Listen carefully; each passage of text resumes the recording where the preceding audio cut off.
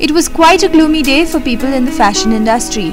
Friends and family from the modeling world came together to pay their respects and condolences to the late model Viveka Babajee. Supermodel Viveka, who ruled the fashion circuit in the 1990s, made headlines when she committed suicide and was found dead at her Bandra residence on late Friday evening.